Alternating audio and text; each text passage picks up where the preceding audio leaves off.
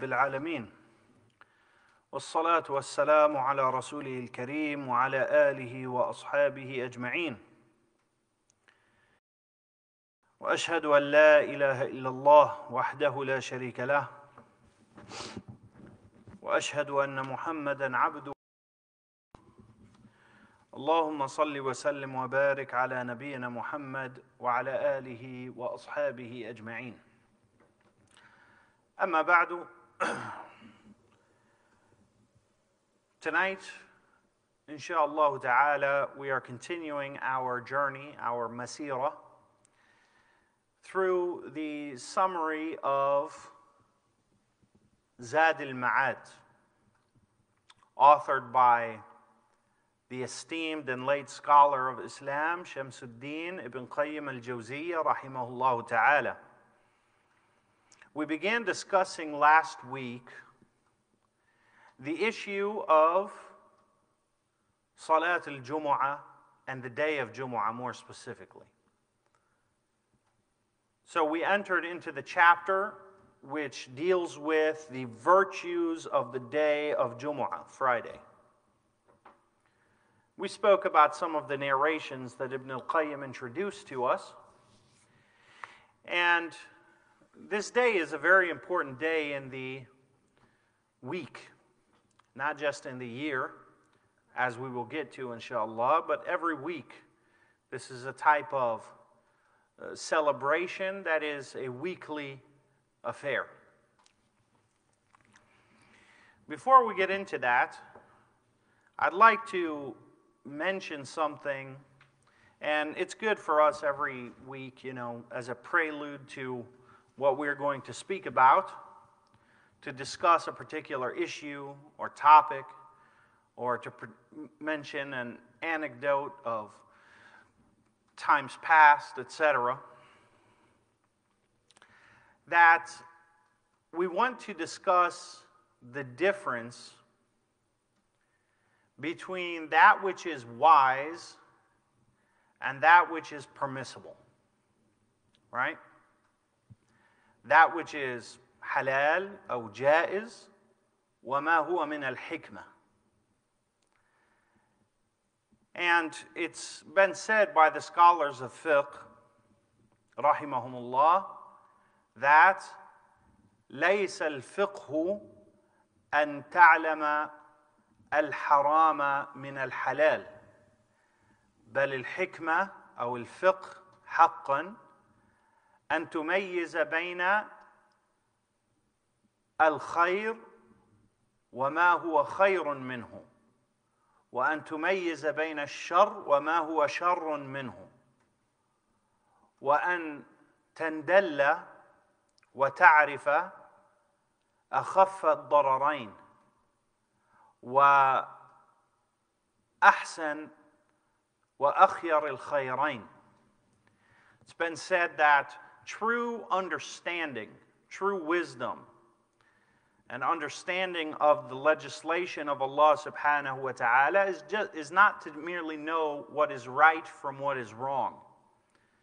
What is right from what is wrong is pretty clear cut.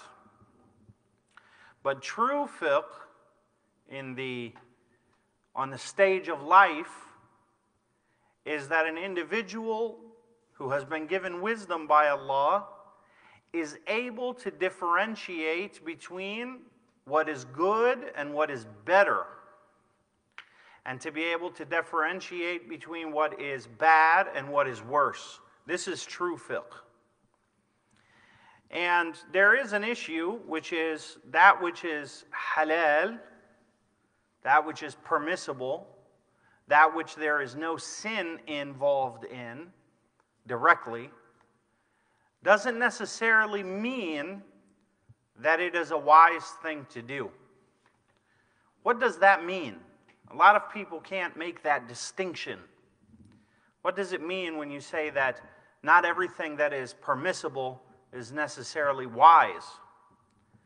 It could even be said that not everything that is preferable,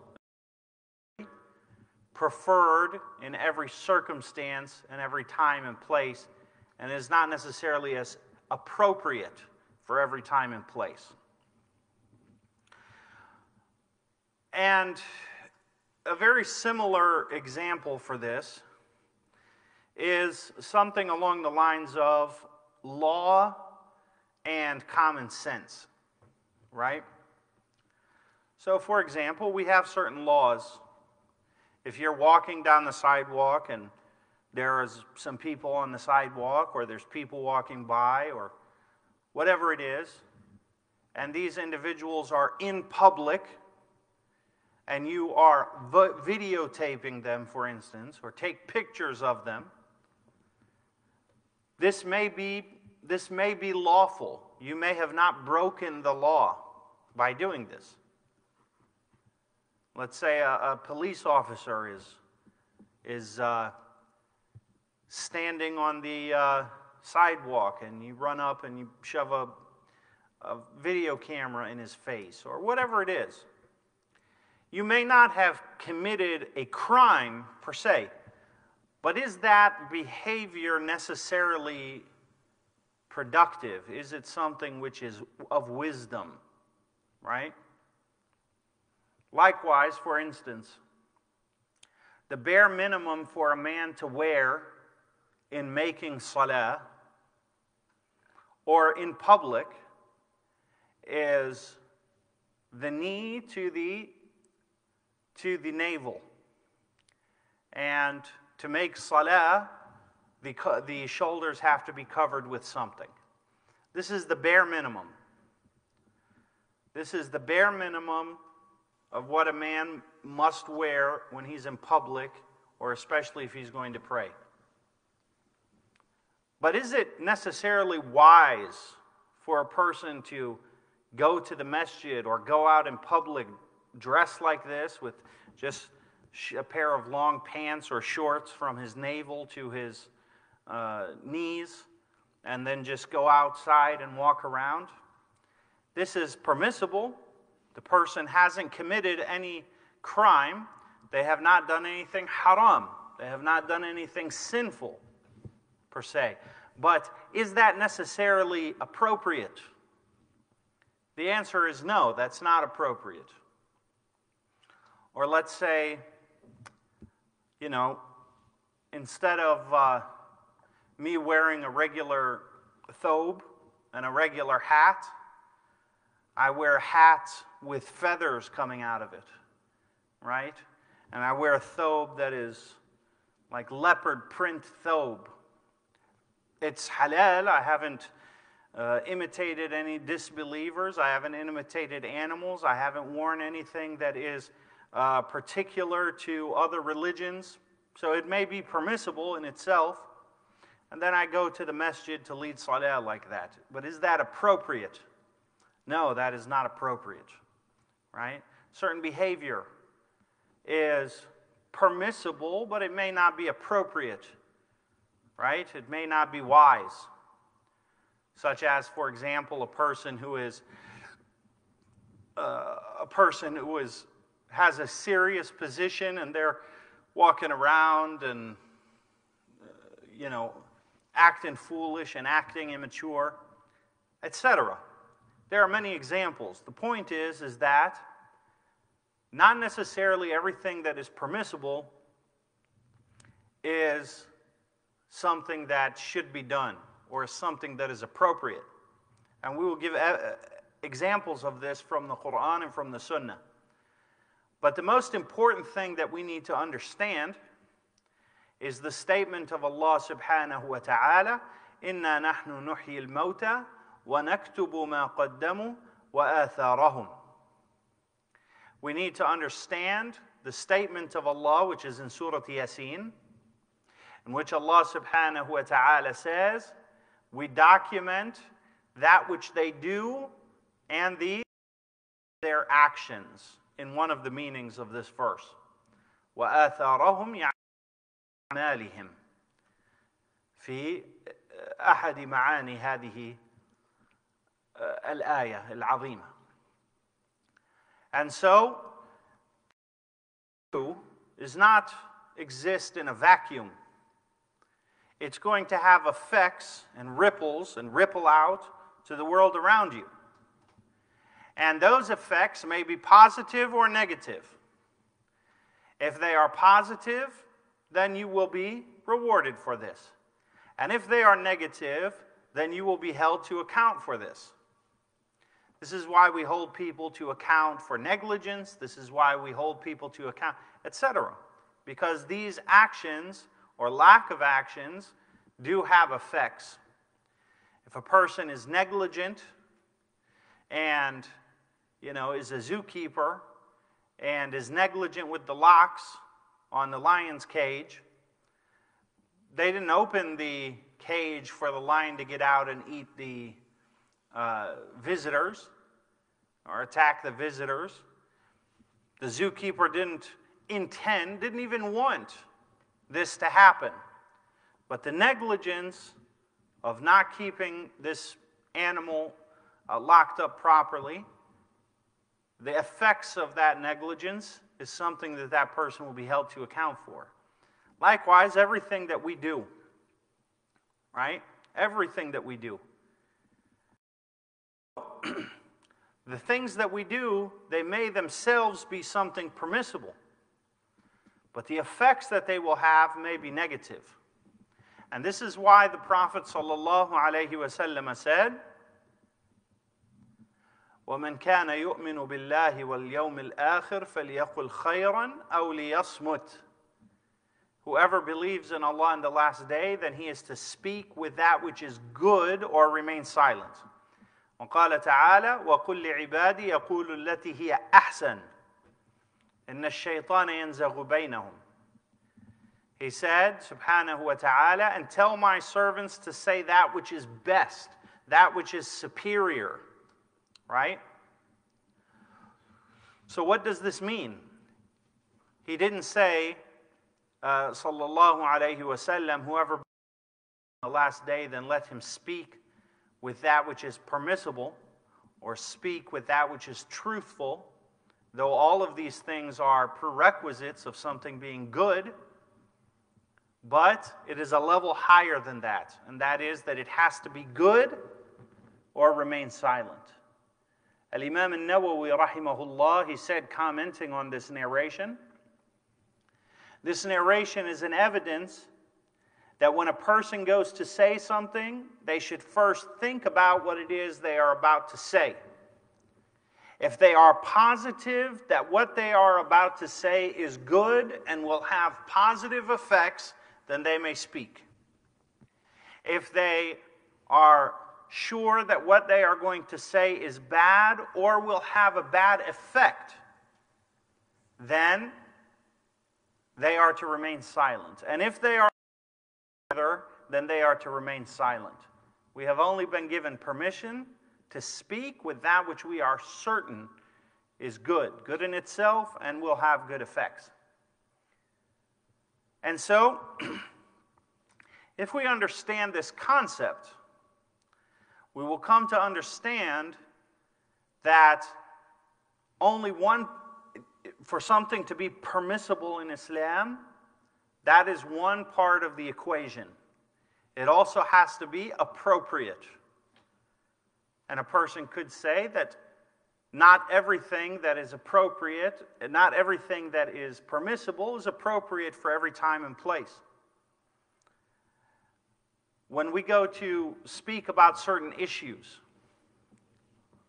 certain issues, maybe historical events that happened amongst the companions, or issues that, uh, you know, the, the people that are unlearned or not well uh, versed in the meanings of the Quran and Sunnah. Should we go and unveil these issues to them in public? No, of course not. Just like we wouldn't feed our newborn uh, a piece of steak, right? Because a newborn it's good, it tastes good, it's fine, it's healthy, it's halal, it's all of that, but it's not appropriate for a child of that age.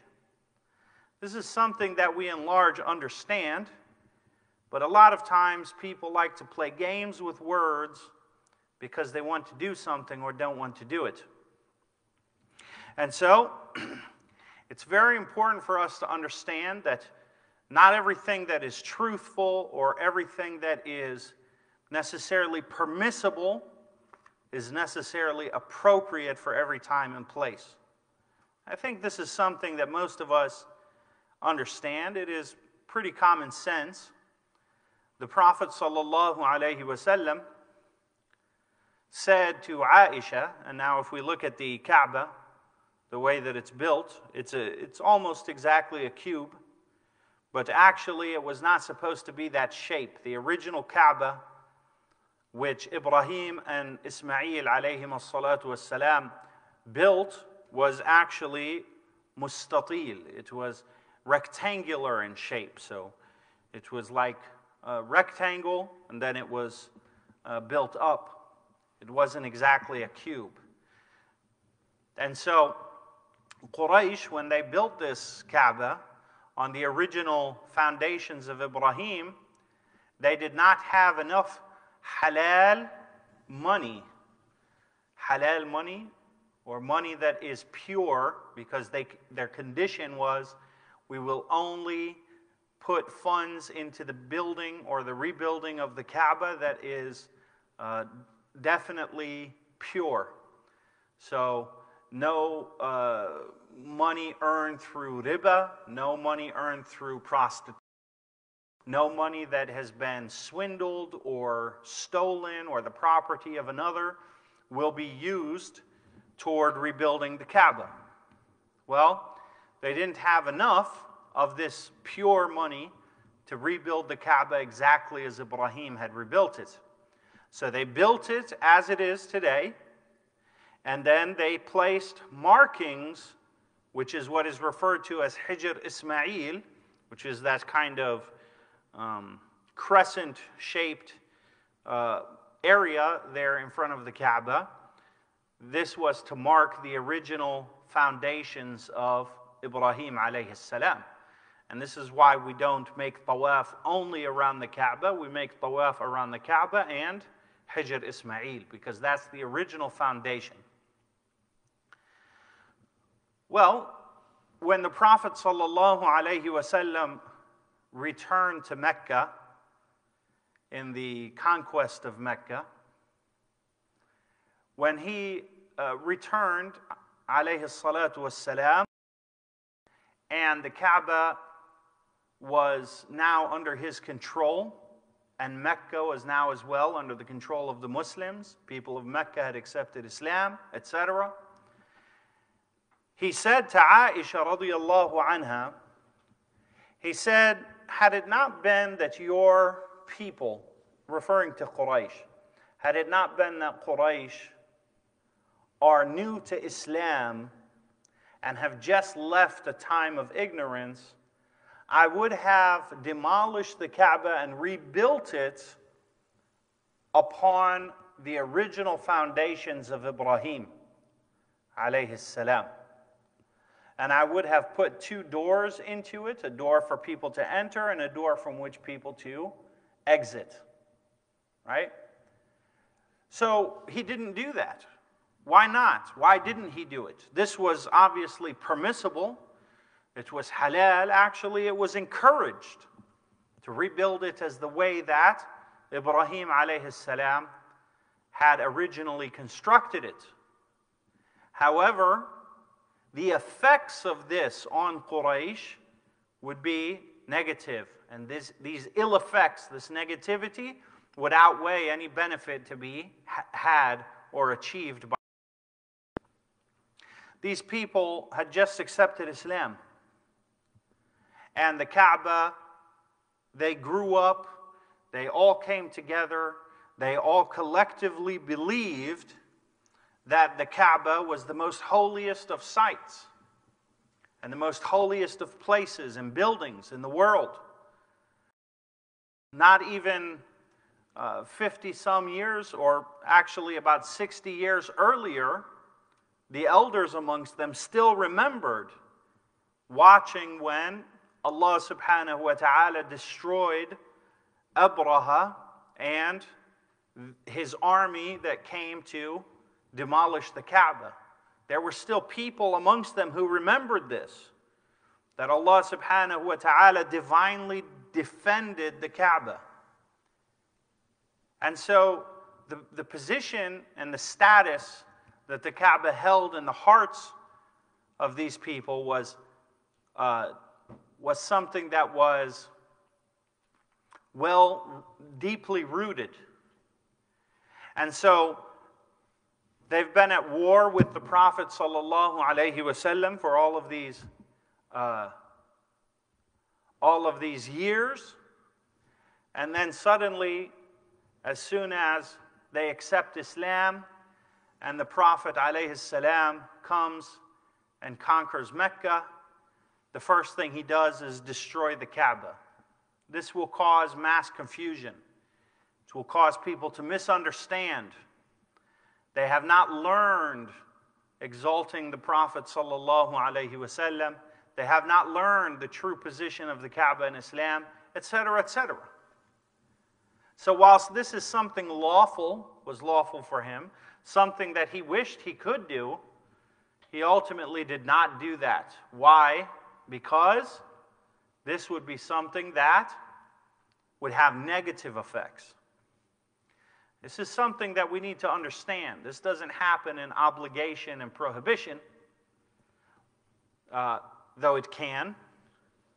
But this is something that occurs in differentiating between that which is good and that which is better, that which is permissible and that which is appropriate. Right? And so, if we understand this, we will start to uh, use common sense and understand how to uh, employ the principles and the obligate and the statements of Allah subhanahu wa ta'ala and his prophet sallallahu alayhi wasallam in our lives. Ali ibn Abi Talib radiyallahu anhu he said, حدثوا الناس بما يعقلون أتحبون أن يكذب الله ورسوله Ali ibn Abi Talib radiallahu anhu, the great Amir al-Mu'mineen, he said, when you address the people, address them with that which they understand. Don't go above their heads. Don't speak to them of something that is too foreign for them to understand at that time. He said, Would you desire, meaning lest Allah and His Messenger be belied? Right? Ibn Mas'ud radiallahu anhu, he said, ما أنت محدثا قوما حديثا لا تبلغه عقولهم إلا كان لبعضهم فتنة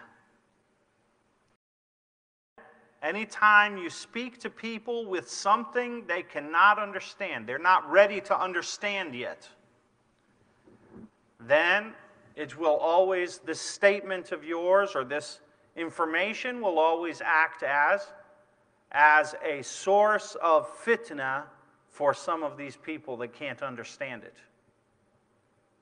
And so we make sure that we uh, we make sure that we teach people properly, that we behave properly with that which is appropriate. And this is why Allah subhanahu wa ta'ala said, وَقُلْ لِعِبَادِي يَقُولُ الَّتِي هِيَ أَحْسَنُ Tell my servants to do, to say and do that which is best.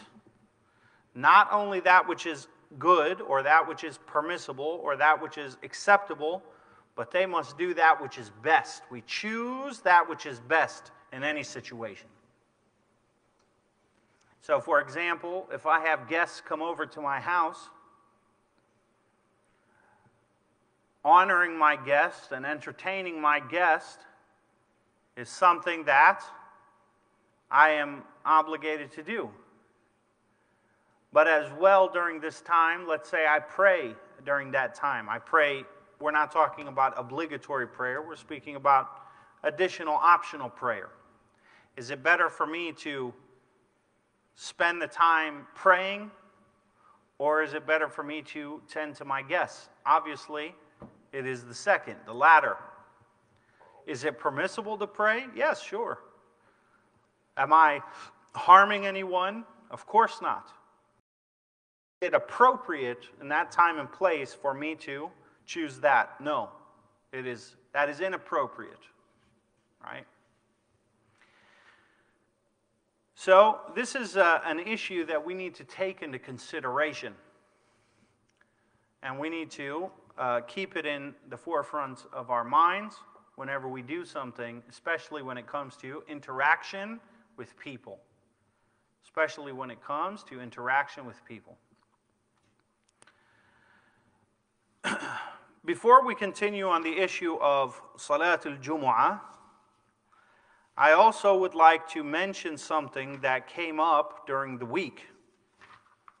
And these are just uh, issues that we that may arise, and um, I may find that they are beneficial or of consequence to the listener because these are common issues. One of the issues that came up and was asked uh, throughout last week was a question came up on whether or not it is permissible to use a means of making a decision such as flipping a coin, right? Flipping a coin. So, for example, should I go to this restaurant or that restaurant? Or should I go right or should I go left? Or should I buy this thing or not buy it? So I'm going to flip a coin. Is this something which is permissible? The answer is this is not permissible. And this is a type of azlam. As Allah subhanahu wa ta'ala mentioned that al-azlam, which we'll discuss, inshallah, this is something which is, as Allah describes, a filth from the handiwork of a shaitan. So stay clear of it and avoid it completely in order that you all may attain success.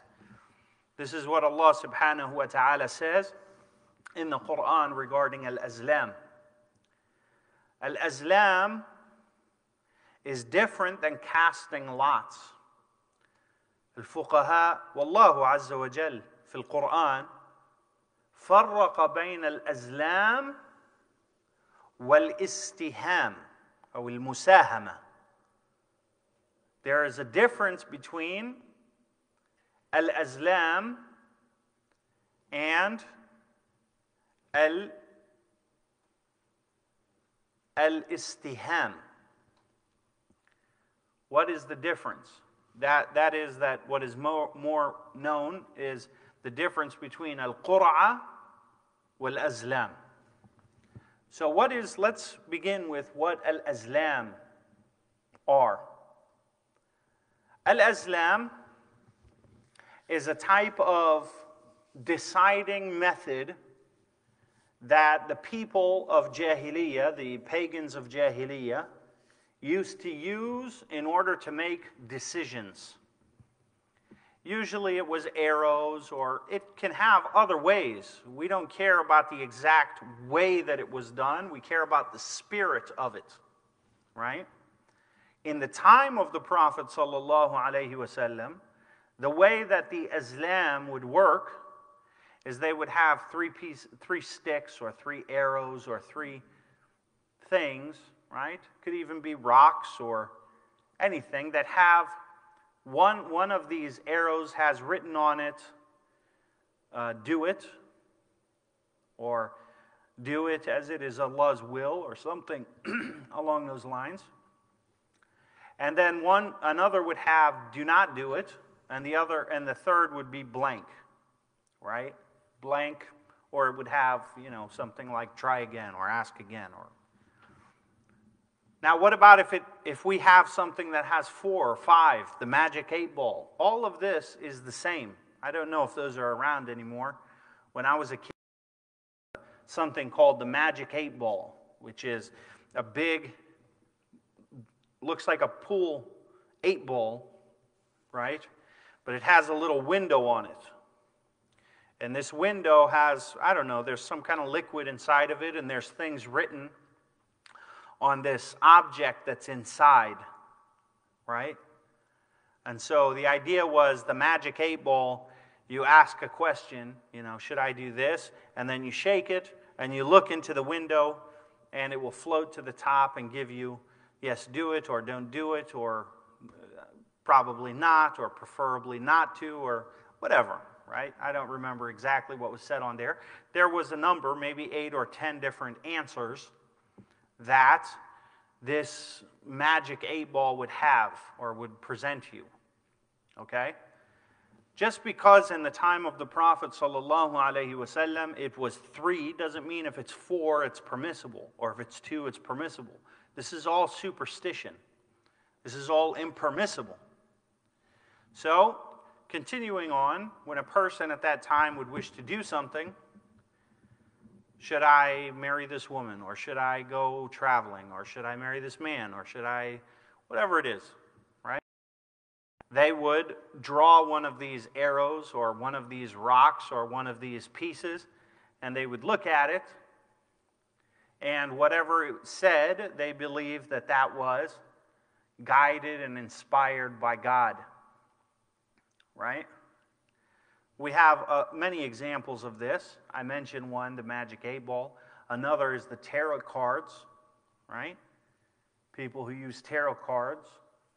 This is all a type of tatayyur, and this is all a type of a type of uh, shirk, minor shirk in Islam. Flipping the coin is part of al-azlam. This is different than drawing lots. Drawing lots is mentioned in the Quran twice, and it's also mentioned in the Sunnah of the Prophet. What is drawing lots? Al-qur'a or al-istiham. Al-istiham is when we have right, that all have an equal right to something and there is no determining factor except drawing, as we say in America or in English, drawing straws, right? Drawing, casting lots. This is, this is, uh, in this case, permissible. This is how we make these decisions.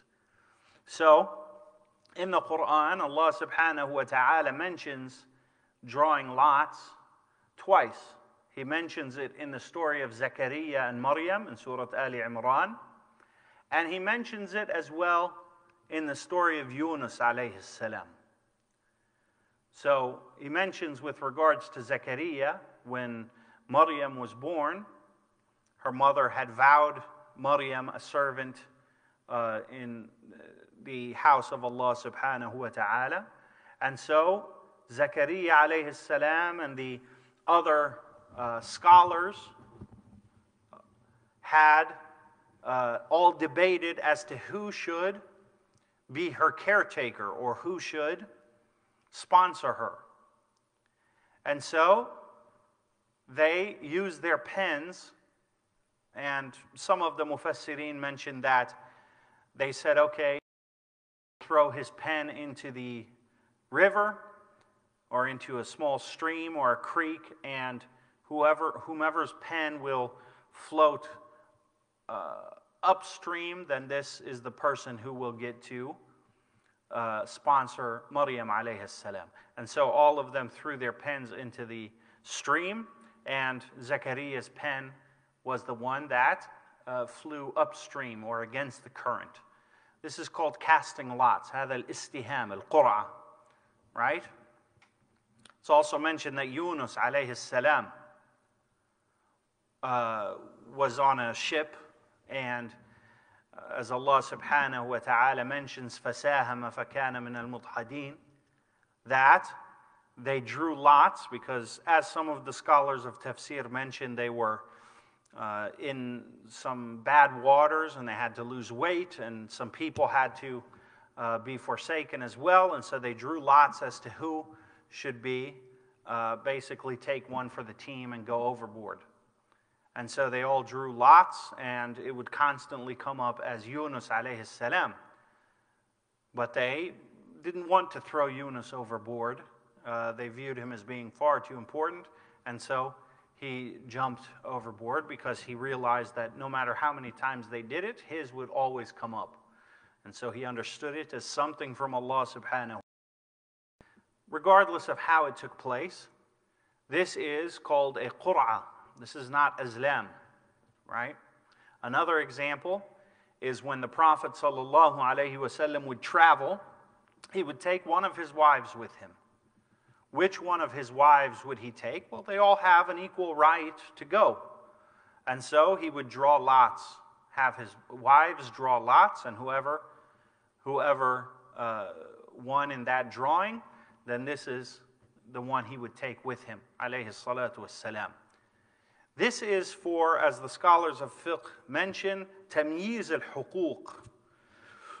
This is a determining factor with regards to div- dividing people's rights. Right? Uh, two people come to make adhan, or let's say in a masjid where, uh, where there's no imam, let's say people are going to lead salah. Who should lead in salah? The most versed in Quran, as the Prophet ﷺ said. If they both know the, the two candidates know the Quran equally, then the most versed amongst them in the Sunnah. If they are both equal in that, then the one of them who made hijrah first. If they are equal in that, then the eldest. Let's say they are equal in all of that. Then we would cast lots. We would have them draw straws because they both have equal rights to that. This is called casting lots. This is drawing straws. This is something which is permissible, however, we do it. If you remember at our fundraising dinners uh, for the Mosque Foundation, we have a raffle, right? Like a giveaway. And so we have everyone's name in a bucket or in a something that'll mix them up, and then we choose random names. This is called qur'ah. This is permissible. This is actually prophetic. However, there is a difference between that and flipping a coin to make your decisions. This is part of superstition. This is something which is impermissible in Islam. How is that? The decision should be made in two ways When I'm making a decision for myself, I need to make that decision and use two things. Number one, I need to use facts and knowledge to give the edge to one of the two options or many options, right? Weigh the factors. And that has to do with فَاسْأَلُوا أَهْلَ الذِّكْرِ إِن كُنْتُمْ لَا تَعْلَمُونَ That I am to ask those who are well versed and knowledgeable in that field what I should do. Second of all, I am to make istikhara. Salat al-istikhara is a gift from Allah subhanahu wa ta'ala that we were given in order to make our decisions. And it took the place of uh, al azlam in the time of Jahiliyyah. And so, if I am going to make a decision, you know, let's get which product am I going to buy, or let's say, am I going to buy? Well, I try to look at things objectively first off. And so I do my research on both options, or however many options there are. And I consult people in that field so that I can get as much proper information on the subject as I can. After this, I will make Salat al Istikhara. If I am still torn, I will make Salat al Istikhara. And then I will go with one of the two. There is a, a kind of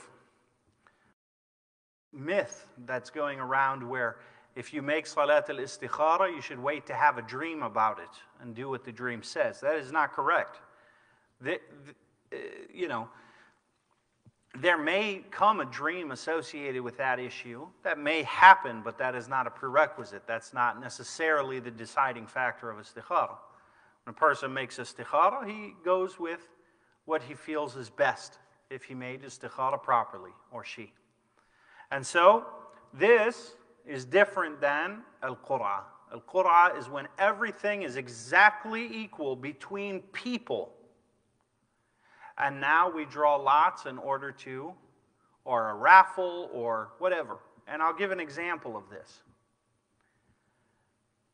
When we have, uh, let's say, you know, even though I, I don't like to use this as an example that much, but in football, American football, we have the coin toss at the beginning of the game to decide who's going to get the ball first, right?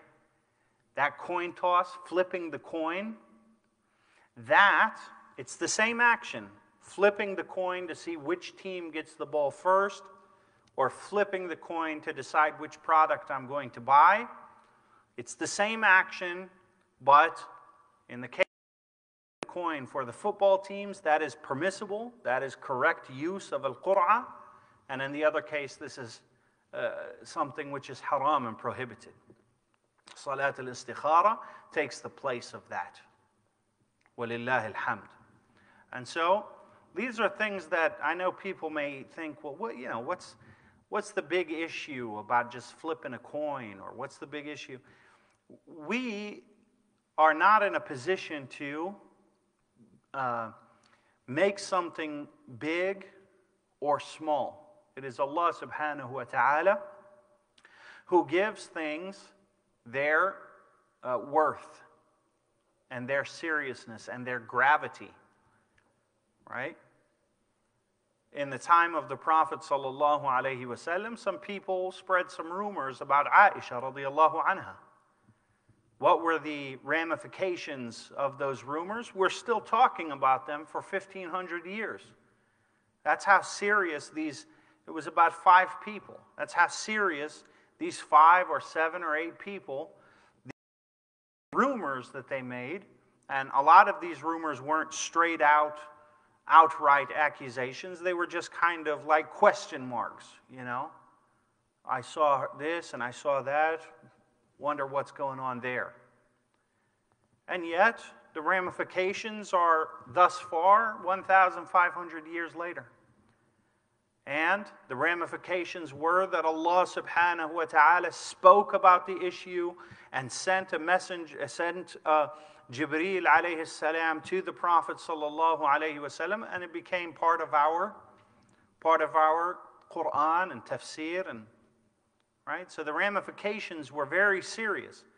But when people were doing it at the time, they didn't think it was such a big deal. It's just a little rumor, right? But Allah subhanahu wa ta'ala says in rebuttal to this mentality, He said, وَتَحْسَبُونَهُ هَيِّنًا وَهُوَ عِنْدَ اللَّهِ عَظِيمٌ You all do this, you say these things, all the while believing that they are not so serious, things that are to be taken lightly, yet with Allah and Allah's estimate, these things are very heinous and serious. So uh, the gauge of this is petty and this is uh, worthy, this is of great gravity, and this is of little significance, that doesn't come from us and what we immediately see here in front of us. This comes from Allah subhanahu wa ta'ala. Uh, this is uh, enough for this evening, inshallah. We will continue next week in the book of Al Jumu'ah. Uh, we spoke very little about Zad al Ma'ad tonight, but uh, these are very two important topics that I felt to share with uh, the listeners. Wallahu a'lam wa sallallahu wa sallam ala nabiyyina Muhammad wa ala alihi wa ashabihi ajma'in walhamdulillahi rabbil alamin.